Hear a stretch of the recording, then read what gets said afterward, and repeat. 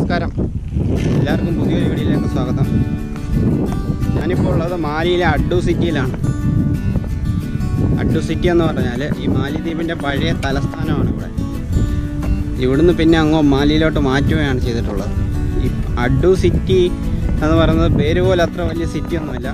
നാല് ദ്വീപുകളാണ്. ഗ്യാന് ഫെയ്തു മറദു ഫെയ്തു ഹിദദു. ഇങ്ങനെ നാല് ദ്വീപുകളെ ഒന്നിച്ച് ചേർത്ത് ഒരു സിറ്റിയാക്കി മാറ്റിയേക്കുകയാണ് ഇവിടെ കുറേ ആളുകൾ താമസിക്കുന്നൊക്കെ ഉണ്ട് പിന്നെ ഒരു എയർപോർട്ട് ഉണ്ട്. റിസോർട്ടൊക്കെ ഉണ്ട്. അതിലൊരു റിസോർട്ടിലാണ് ഞാൻ ജോലി ചെയ്യുന്നത്. ഇപ്പോൾ ഒരു എട്ട് മാസത്തോളം ഞാൻ ഈ ദ്വീപിൽ കാണും. അപ്പോൾ ഇവിടുത്തെ കാഴ്ചകളൊക്കെ എന്നെ കൊണ്ട് കാണിക്കാൻ പറ്റുന്ന പരമാവധി കാഴ്ചകളൊക്കെ ഞാൻ നിങ്ങൾക്ക് കാണിച്ചു തരുന്നതായിരിക്കും. ഇപ്പോൾ എന്റെ പുറകെ കാണുന്ന ഐലൻഡാണ് ഫെയ്തു ഹായ്. നമ്മുടെ കൂടെ വർക്ക് ചെയ്യുന്ന നമ്മുടെ സുഹൃത്താണ് ഈ മാലിക്കാരനാണ്. അവന്റെ ബൈക്കിലാണ് ഈ സ്ഥലത്തൊക്കെ ഞാൻ പോയി കാണുന്നത്. ആ ഇപ്പം എന്റെ പുറകെ നിൽക്കുന്ന ഐലൻഡ് ഫെയ്തു. ആ ഫെയ്തു. തൊട്ടപ്പുറത്ത് മറ്റേ ഐലൻഡ് ഗ്യാൻ ആ ഗ്യാൻ ഐലൻഡിലാണ് എയർപോർട്ടൊക്കെ ഗ്യാൻ ഇന്റർനാഷണൽ എയർപോർട്ട് എന്ന് പറയും. ബ്രിട്ടീഷുകാർ പണ്ട് പണിത എയർപോർട്ടാണ് അവർ പോയതിന് ശേഷം ഇവിടുത്തെ മാലി സർക്കാർ അത് കുറച്ച് നവീകരണങ്ങളൊക്കെ നടത്തി. മറ്റ് ഇപ്പം കാണുന്ന പോലെ ഗ്യാൻ ഇന്റർനാഷണൽ എയർപോർട്ടാക്കി മാറ്റി. ഉണ്ടോ? ഞാനിപ്പോൾ ആ പാലത്തിലാണ് ഇരിക്കുന്നത്. ഇപ്പോൾ എന്റെ ഇടത് സൈഡിൽ ഫെയ്തു. ഇനി കുറച്ച് അങ്ങോട്ട് മാറി. വലത് സൈഡിൽ ഗ്യാൻ. ഇതുപോലെ നാല് ഐലൻഡാണ് നല്ല അടിപൊളി സ്ഥലങ്ങളാണ്. നമുക്ക് ഇവിടെ ബീച്ചൊക്കെ ഉണ്ട്. ബീച്ചിലൊക്കെ കുളിക്കാം വലിയ ഇടവഴിയായിരുന്നു പണ്ട്. അവർ മണ്ണിട്ട് നികത്തി നികത്തി നികത്തി വലുതാക്കിയത്. രണ്ട് ചേട്ടന്മാരവിടെ മീൻ പിടിക്കുന്നൊക്കെ ഉണ്ട്. ഇന്ന് കാണാൻ പറ്റുമോ അറിയത്തില്ല. ഈ പാ ഈ ഗ്രീൻ ബോർഡ് ഉണ്ടോ ആ ഗ്രീൻ ബോർഡിന്റെ പുറയിൽ ഒരു ചെറിയ ലൈനിങ് പോലെ ഉണ്ടോ? അതാണ് ഇവിടുത്തെ റൺവേ എയർപോർട്ടിന്റെ റൺവേ എന്ന് പറയുന്നത് അതാണ്. ശ്രീലങ്കൻ എയർലൈൻസ് മാത്രമാണ് ഇങ്ങോട്ടേക്ക് സർവീസ് അതായത് പുറത്തുള്ള സ്ഥലത്തു നിന്ന് ഈ മാലിദ്വീപിന് പുറത്തുള്ള സ്ഥലത്തു നിന്ന് ഇങ്ങോട്ടത്തേക്ക് ശ്രീലങ്കൻ എയർലൈൻസ് മാത്രമേ ഉള്ളൂ. ഈ ഒരു ഗ്യാൻ ഐലൻഡിലേക്ക് നമുക്ക് വളരെ കുറഞ്ഞ ചിലവിൽ ഇന്ത്യക്കാർക്ക് ഈ സ്ഥലത്തെത്താം. പതിനായിരം രൂപ. ഒരു സ്ഥലത്തെ ഒരു ഒരു വഴിക്ക് ഒമ്പതിനായിരത്തി എണ്ണൂറ് രൂപ. അതായത് ശ്രീലങ്ക നമുക്ക് കൊച്ചിയിൽ നിന്ന് നേരെ ശ്രീലങ്ക കൊളംബോ നിന്ന് ഇവിടുന്ന് ക്യാനിലോട്ട്. ഒമ്പതിനായിരത്തി എണ്ണൂറ് ശ്രീലങ്കൻ എയർലൈൻസ് ഇപ്പോൾ ഒരുപാട് ഓഫറൊക്കെ ഉണ്ട്. അങ്ങോട്ടും ഇങ്ങോട്ടും രണ്ട് സൈഡിലേക്കുള്ള ടിക്കറ്റ് ടിക്കറ്റ് ഒരുമിച്ച് ബുക്ക് ചെയ്യുവാണെങ്കിൽ ഒരുപാട് പൈസ നമുക്ക് കുറവൊക്കെ ഉണ്ട്. അങ്ങനെയാണ് പറയപ്പെടുന്നത്. ഇപ്പോൾ കഴിഞ്ഞ ദിവസം എന്റെ ഒരു സുഹൃത്ത് നാട്ടിൽ നിന്ന് വന്നായിരുന്നു അവനാണ് പറഞ്ഞത് ഈ രണ്ട് സൈഡിലേക്കുള്ള ടിക്കറ്റൊക്കെ ബുക്ക് ചെയ്താണ് നമുക്ക് റേറ്റൊക്കെ കുറച്ച് വരാം. ശ്രീലങ്കയിൽ ഇപ്പോൾ വിസ ഫ്രീ ആണ് ഇപ്പോൾ നാട്ടിൽ നിന്ന് ഇങ്ങോട്ടത്തേക്ക് വരുവാണെങ്കിൽ പന്ത്രണ്ട് മണിക്കൂറൊക്കെ വെയിറ്റ് ചെയ്യേണ്ടി വരും ശ്രീലങ്കയിൽ. ആ അപ്പോൾ ആ പന്ത്രണ്ട് മണിക്കൂർ വേണമെങ്കിൽ നമുക്ക് അവിടെ നിന്ന് വിസയൊക്കെ എടുത്ത് ശ്രീലങ്കയൊക്കെ ഒരു ദിവസം കണ്ട് അടുത്ത ഫ്ലൈറ്റിന് ഇങ്ങോട്ടേക്ക് വരാം. എന്റെ കൂടെ ജോലി ചെയ്യുന്ന ഒരു പയ്യനാണ് ബംഗ്ലാദേശിയാണ്. അവനാണ് സൈക്കിൾ ചവിട്ടി ഇങ്ങനെ വരും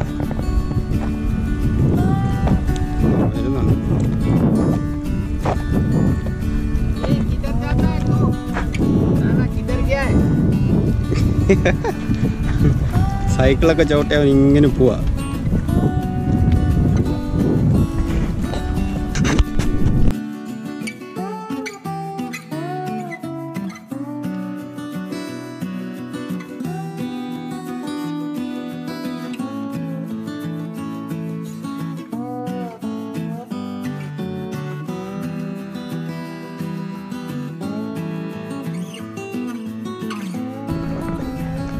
ഇനി അപ്പുറത്തുള്ള ഞാൻ അല്ലോണ്ട് പോകും അവിടെയാണ് എയർപോർട്ടൊക്കെ ഞാൻ താമസിക്കുന്നത് അവിടെയാണ്. ഞങ്ങളുടെ റിസോർട്ടും അവിടെയാണ്.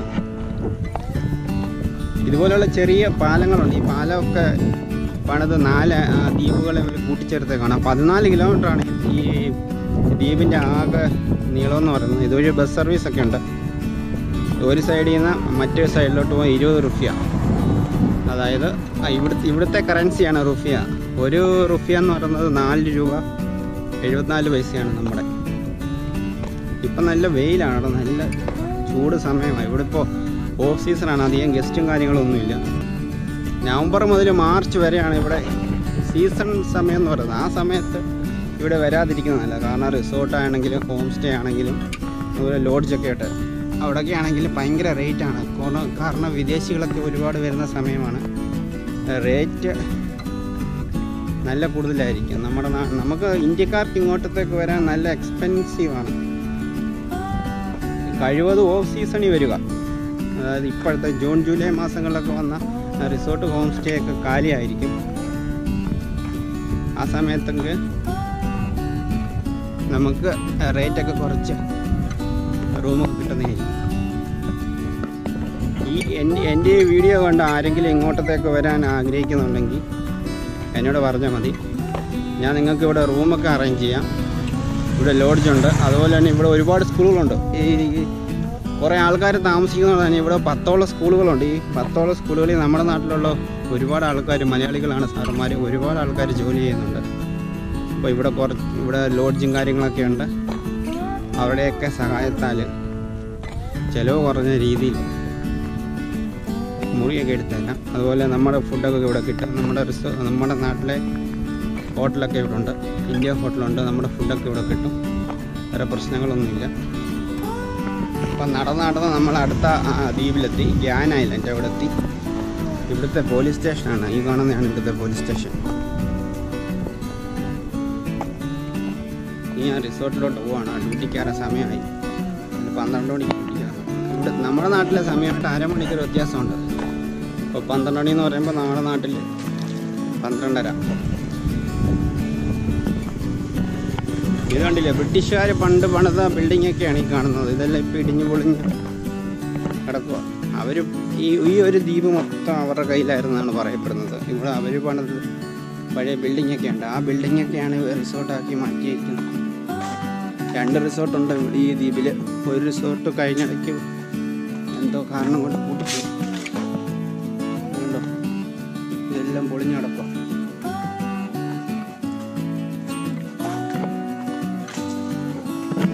അപ്പം ഇതൊക്കെയാണ് ഇവിടുത്തെ കാഴ്ചകൾ. അങ്ങനെ കുറേ കൂടെ ഒക്കെ കാഴ്ചകൾ കാണാനുണ്ട്. ഇതിനപ്പുറത്തുള്ള ഹിതദൂലോട്ട് പോകണം അവിടെ ഒരു നേച്ചർ പാർക്കൊക്കെ ഉണ്ട്. അത് കണ്ടൽക്കാടാണ്. ആ കണ്ടൽക്കാട് നേച്ചർ പാർക്കാക്കി മാറ്റിയേക്കാണ് പിന്നെ അതിന്റെ തൊട്ടപ്പുറത്ത് വേറെ ഐലൻഡ് ഉണ്ട്. കുളുമീതു എന്ന് പറയും. അവിടെയൊക്കെ നല്ല ഭംഗിയുള്ള കാഴ്ചകളാണ്. ഇതാണ് ഇത് ഇവിടുത്തെ മുസ്ലിം പള്ളി. മുസ്ലിം പള്ളി. ഈ പള്ളിയുടെ തൊട്ടപ്പുറത്താണ് ടെന്നീസ് കോർട്ട് അത് ഞങ്ങളുടെ കമ്പനിയുടെ ഉടമസ്ഥതയിലുള്ളതാണ് ഈ സ്ഥലം വല്ല വാടകയാണ്. നമുക്ക് ഇവിടുന്ന് പുറത്തുനിന്ന് പുറത്തുനിന്ന് ഒരു റിസോർട്ട് നടത്തണമെങ്കിലോ എന്തെങ്കിലും ബിസിനസ് ചെയ്യണമെങ്കിലോ വാടകയ്ക്ക് എടുക്കാനേ പറ്റത്തുള്ളൂ. ഈ ഒരു ദ്വീപിൽ സ്വന്തമായിട്ട് സ്ഥലം വാങ്ങാൻ പറ്റത്തില്ല. ഇവിടെ ഒരുപാട് കാറുകളും എല്ലാം വഴി കിടപ്പുണ്ട്. വളരെ വില കൂടിയ കാറുകളൊക്കെ കിടപ്പുണ്ട്. ഇതൊന്നും ശരിയായ മെയിന്റെനൻസ് ഇല്ല. ഉപയോഗ ശരിയാക്കാൻ അറിയത്തില്ല. നല്ല പണിക്കാരില്ല. അതുകൊണ്ട് തന്നെ കുറേ വർഷം ഉപയോഗിക്കും. പിന്നെ ഇതുപോലെ വഴിയിലൊക്കെ ഇട്ടിട്ട് പോകും. ഇപ്പം എന്തായാലും ഇവർ ടാറ്റയുടെ ബസ്സൊക്കെ ഇവിടെ വാങ്ങുന്നില്ല? ലൈലാനീന്റെ ബസ്സാണ് വാങ്ങുന്നത്. ഒരു എട്ട് ബസ്സുണ്ട്. ആ ബസ്സാണ് ഇപ്പോൾ ഈ റൂട്ടിൽ സർവീസ് നടത്തുന്നത്.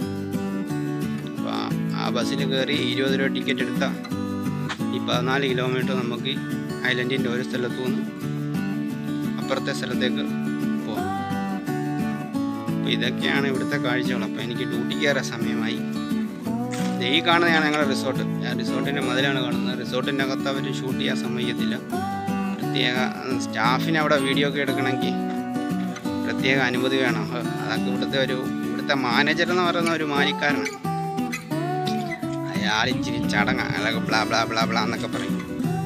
അതുകൊണ്ട് അയാളുടെ അനുവാദം വാങ്ങിക്കാനൊന്നും ഈ പറഞ്ഞാൽ ഇവർക്ക് പൊതുവെ ഒരു വിശ്വാസമുണ്ട്. ഇവന്മാരാണ് ഇവിടുത്തെ ഏറ്റവും വലിയ ആൾക്കാർ എന്നാണ്. ഇവരോട് കഴിവും തർക്കിക്കാൻ പോവാതിരിക്കുന്നതാണ് നല്ലത്. അവർ പറയുന്ന കാര്യങ്ങളൊക്കെ ശരിയാണെന്ന് സമ്മതിച്ചു കൊടുത്താൽ മതി. വേറെ പ്രശ്നങ്ങളൊന്നുമില്ല ശരിക്കും പറഞ്ഞാൽ ഒരു ചെറിയ ദ്വീപിൽ താമസിക്കുന്ന പോലെ ചെറിയൊരു കുഗ്രാമത്തിൽ താമസിക്കുന്ന പോലെ അവർക്ക് ഇത് ഈ ഇത് പുറലോകമായിട്ട് യാതൊരു ബന്ധവുമില്ല. ഇവരുടെ ഏറ്റവും വലിയ ലക്ഷ്യം എന്തോന്ന് പറഞ്ഞാൽ ഒരു ബൈക്ക് വാങ്ങുക. വർഷാവർഷം ഐഫോൺ വാങ്ങിക്കുക ഇതാ ഇതിനു വേണ്ടിയിട്ടാണ് ഇവർ ജോലി ചെയ്യുന്നത്. എന്റെ എന്റെ ഗോപ്രോയുടെ ചാർജ് തീർന്നു. ഇപ്പം ഞാൻ ഫോണിലാണ് എടുക്കുന്നത്. നല്ല വീഡിയോയ്ക്ക് നല്ല ഷേക്കൊക്കെ കാണും. എല്ലാവരും ക്ഷമിക്കുക ഇതൊക്കെയാണ് ഇവിടുത്തെ കാഴ്ചകൾ വേറെ സംഭവങ്ങളൊന്നുമില്ല. ഇക്വേറ്റർ വില്ലേജ് ഇവിടെയാണ് ഞാൻ വർക്ക് ചെയ്യുന്നത്. റിസോർട്ടിന്റെ പേരാണ് ഇക്വേറ്റർ വില്ലേജ്. ഇതൊരു ഫോർ സ്റ്റാർ റിസോർട്ടാണ്. ഇവിടെ താമസിക്കാൻ നല്ല റേറ്റാണ്. പറ്റത്തില്ല. ഒരു ദിവസത്തേക്കൊക്കെ നമ്മുടെ നാട്ടിൽ ഇരുപതിനായിരം രൂപയാവും. ഒരു ദിവസം.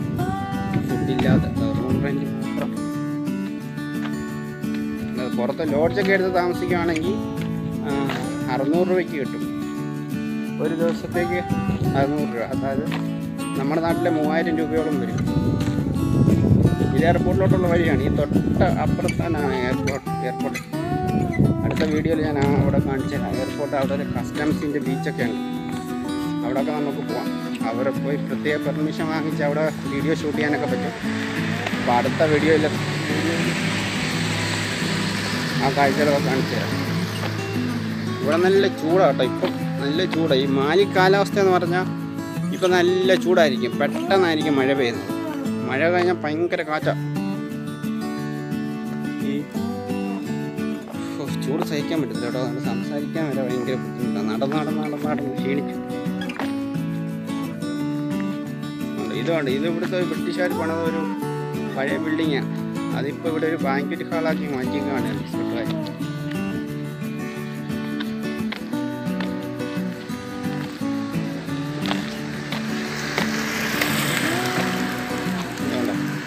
ഞങ്ങളുടെ സ്റ്റാഫ് ക്വാർട്ടേഴ്സ് ആണ്. അതും ബ്രിട്ടീഷുകാർ പണിതാ എന്തായാലും നടന്ന് നടന്ന് നടന്ന് റൂമിലെത്തി. ഇവിടെയാണ് ഇതുപോലെ ഇവിടെ ക്രിക്കറ്റ് കളിക്കാനുള്ള സ്ഥലമുണ്ട്